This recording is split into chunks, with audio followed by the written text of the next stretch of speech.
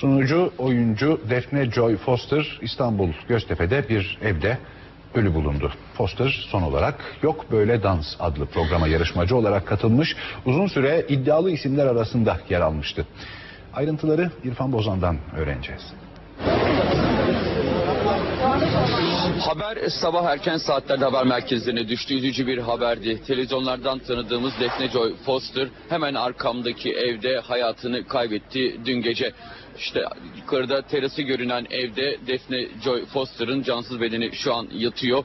Polis ekipleri, olay yeri inceleme ekipleri şu anda olay yerinde. Edindiğimiz bilgilere göre gece saat 3 sıralarında ilk polis ekibi eve geliyor ve ardından sabah saatlerinde de haber duyuluyor. Burası Defne Joy Foster'ın bir arkadaşının eviymiş. Dün gece geç saatlerde gelmişler. Ölüm nedenine ilişkin henüz resmi bir açıklama yok. Ancak emniyet kaynaklarının verdiği bilgiye göre gece geç saatte arkadaşıyla gelmiş, alkol almışlar. Ardından da bir ilaç içtiğine dair ilk olarak emniyet kaynaklarından elde ettiğimiz bilgiler bu. Ancak kuşkusuz net ölüm nedeni Defne Joy Foster'ın otopsi raporunun ardından netleşecek. Ancak şu net ekranların sempatik sunucusu, yarışmacısı Defne Joy Foster artık yok. Bir arkadaşın evinde dün gece hayatını kaybetti.